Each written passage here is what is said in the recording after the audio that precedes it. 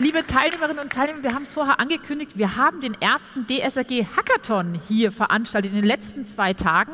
Zusammenarbeit, Collaboration zwischen Wissenschaft, zwischen Wirtschaft ist ja ein wichtiges Thema. Und bevor es gleich zum Lunch geht, brauchen wir noch mal zehn Minuten Ihrer Aufmerksamkeit, denn die drei Finalistenteams sind heute hier.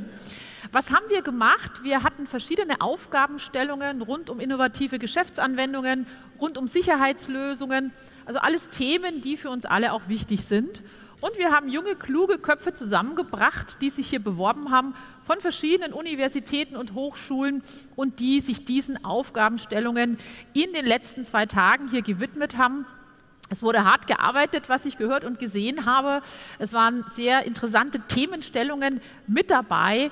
Und gestern wurden dann die drei Finalistenteams vorausgewählt für Sie. Vor 40 führenden CIOs wurde hier präsentiert. Also es war eine sehr aufregende Session, kann ich sagen.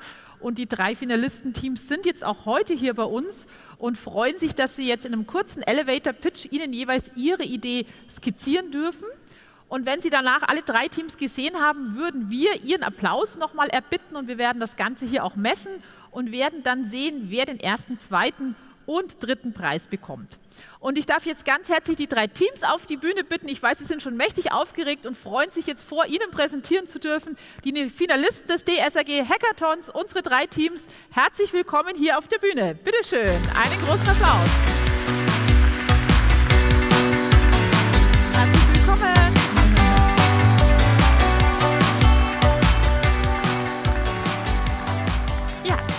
Es waren viele verschiedene Themenstellungen, die wir hier uns angeschaut haben und ähm, die Teams haben sich jeweils eine Fragestellung ausgesucht. Es wurde, wie gesagt, hart gearbeitet. Man sieht es an ein paar Impressionen, wie das hier so abgelaufen ist, auch in den letzten zwei Tagen. Und ähm, ich möchte ganz kurz die Aufgabenstellung jeweils vorlesen, damit Sie wissen, um was ist es gegangen und die Teams dazu. Und wir beginnen mit dem ersten Team. Euer Name ist Locked und ihr habt euch, wie der Name schon sagt, mit dem Thema Have We Been Hacked befasst.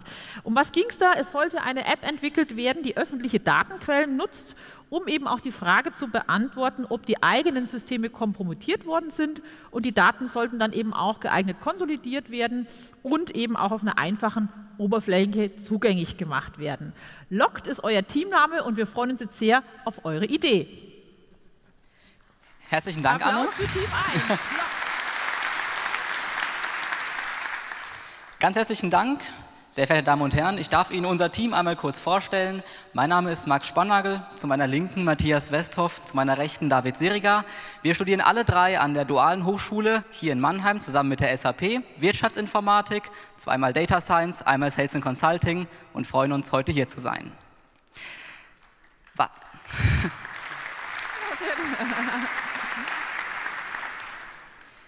Was ist das Wertvollste, das es in Ihrem Unternehmen zu holen gibt? Interne Produktinformationen, Kundendaten, Geschäftsgeheimnisse? Ich denke, Ihnen und uns ist klar, dass diese Informationen wirklich niemanden außer Sie, außer Ihre Firma etwas angehen, nicht wahr? Und trotzdem wurden allein letztes Jahr nur in Deutschland durch Cyberkriminalität Schäden in Höhe von über 200 Milliarden Euro verursacht. Größte Schwachstelle waren nicht etwa mangelhafte Software oder komplexe Hackerattacken, nein. Mit über einem Viertel waren es Angriffe im Zusammenhang mit Passwörtern. Dieses Problem haben wir erkannt und eine Lösung. Locked ist ein interaktives Tool, das es Ihnen ermöglicht, Ihre SAP-Systeme zu schützen und Schwachstellen zu identifizieren, bevor es zu einem Angriff kommt. Wir setzen dabei nicht nur auf eine intuitive Oberfläche und eine einfache Handhabung, nein, es sind vor allem die zahlreichen Datenquellen, die wir nutzen werden, um Sie vor der nächsten Attacke zu wappnen. Denn eins steht leider fest, sie wird kommen. Wie das funktioniert und das aussehen kann, das zeigen Ihnen jetzt Matthias und David. Ja, vielen Dank. Ähm das ist das Dashboard der Example GmbH, ein fiktiver IT-Dienstleister, der wie auch Sie sichere oder wichtige Daten in SAP-Systemen speichert. Und nun möchte die Example GmbH mit Hilfe von Locked überprüfen, wie sicher ihre Systeme sind. Ah ja, auf den ersten Blick fällt der Score auf. Der Score ist eine ist eine einfache und übersichtliche Kennzahl, um das Sicherheitsniveau Ihrer SAP-Systeme zu sehen. Ja. Ähm, wie Sie sehen können, fällt in unserem Fall der Score gelb aus. Das bedeutet, dass Sicherheitslücken in Ihrem SAP-System bestehen. Der Score wird aus vier Kategorien berechnet, die wir uns im Folgenden anschauen wollen.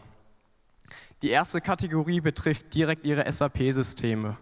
Anhand bekannter URL-Bestandteile sucht Logt automatisiert im Internet nach öffentlichen SAP-Logons Ihres Unternehmens und prüft, ob eine Anmeldung mit typischen Anmeldedaten erfolgreich ist.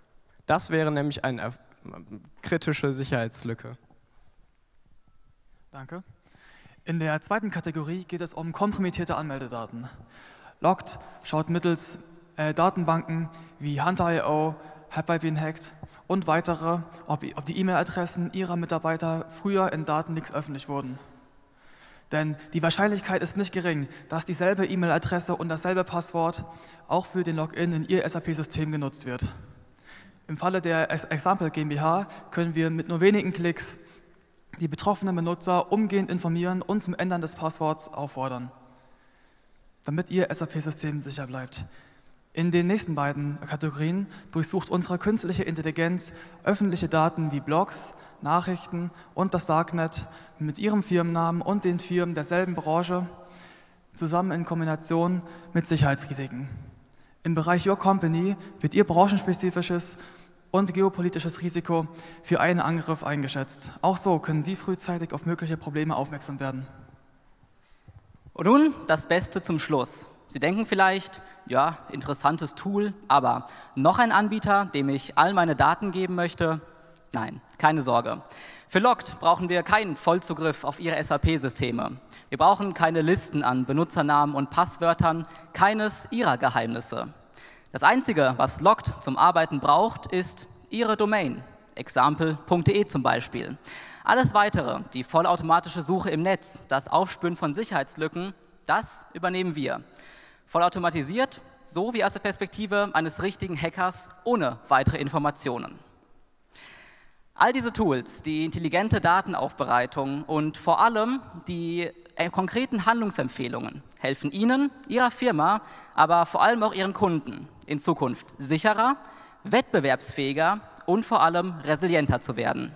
Setzen wir also gemeinsam einen Schritt gegen Cyberkriminalität, damit Ihre Geheimnisse auch in Zukunft Ihnen und ausschließlich Ihnen gehören. Locked. Vielen Dank. Herzlichen Dank an das Team 1 Locked. Wunderbar. Vielen Dank. Vielen Dank an das erste Team. Damit kommen wir zur zweiten Idee und zum äh, Team Data Whispers. Und wir machen ein kurzes Handover. Data Whispers hat sich nämlich einer anderen Fragestellung gewidmet. Hier ging es um ChatGPT, ein Thema, das wir auch schon mehrmals heute Vormittag logischerweise gehört haben. Und ich lese auch hier kurz die Aufgabe vor, die ihr euch vorgenommen habt. Die Aufgabenstellung hat wie folgt gelautet. Ähm, man sollte ChatGPT nutzen, um auf Informationen aus der SAP Data Warehouse Cloud zuzugreifen und über eine Chat-Interaktion zu gucken, wie man da auch im Business relevante Fragestellungen beantworten lassen kann.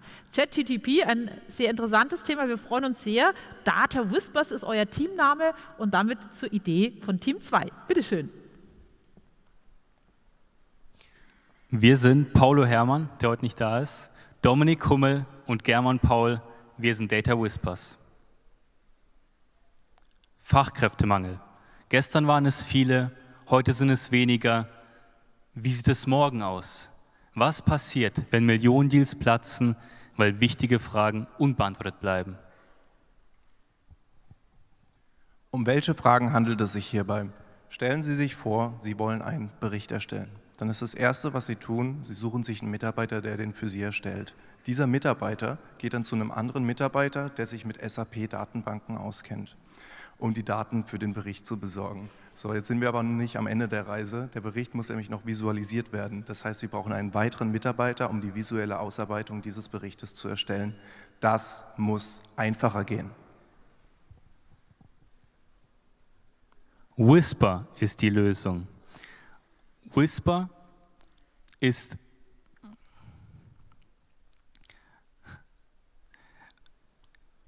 anhand dieser Grafik werde ich Ihnen erstmal erklären, wie Whisper funktioniert. Das Grüne ist das User Interface, das, was Sie sehen, Ihr Bericht, Ihre Eingabe. Das Rote ist alles außerhalb des Systems, in unserem Fall ChatGPT. die blaue Farbe repräsentiert Ihr Unternehmen. Whisper ist in Ihr Unternehmen integriert und dient als Schnittstelle. Whisper kommuniziert mit ChatGPT, nutzt ChatGPT, um passende SQL-Abfragen für die SAP Datasphere zu erstellen. Den Output der SAP Datasphere wird verarbeitet und an den User projiziert.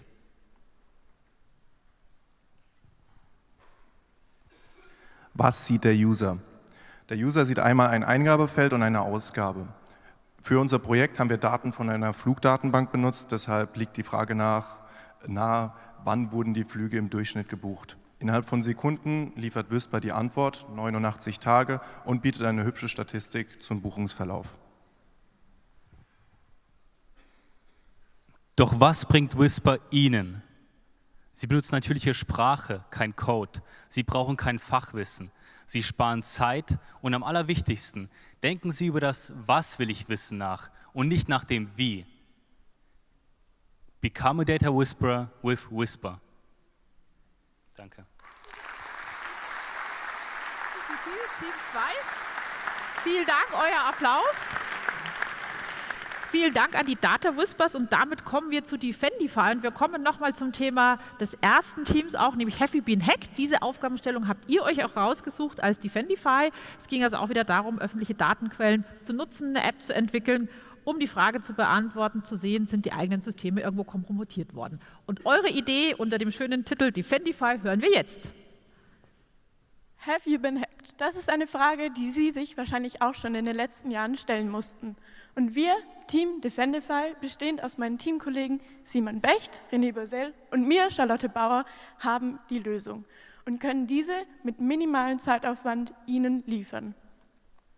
207 Tage.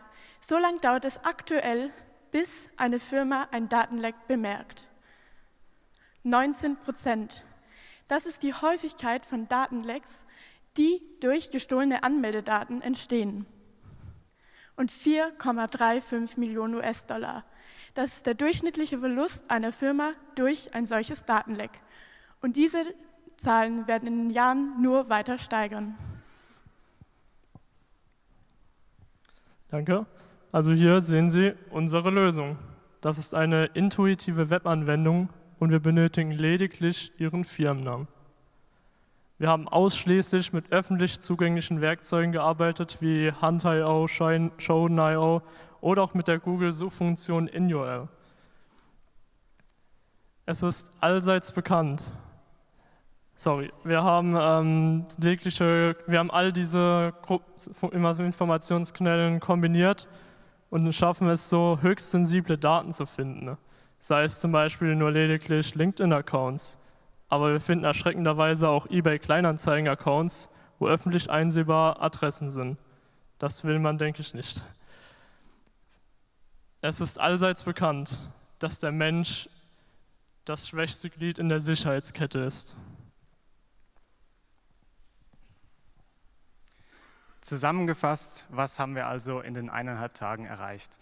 Wir haben eine Anwendung geschaffen, die es uns ermöglicht, nur anhand Ihres Firmennamens beispielsweise E-Mail-Adressen Ihrer Mitarbeiter herauszufinden.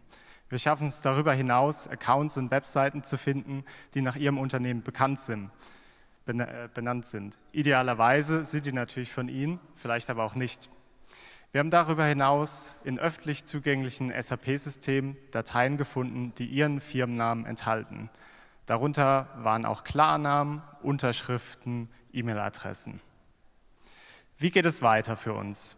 Als erstes wollen wir natürlich unsere App professionalisieren. Wir wollen die SAP Fury Design Guidelines einhalten und unsere Lösung weiter expandieren. Wir wollen mit etablierten SAP Security Lösungen Verbindungen schaffen.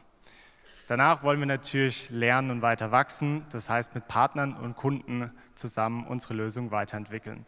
Denn unser oberstes Ziel ist es, aus 207 Tagen nur noch einen Klick zu machen. Wir sind Defendify. Vielen Dank. Defendify, wunderbar. Danke euch. Ja, vielen Dank erstmal an die drei Finalistenteams für drei wunderbare Ideen.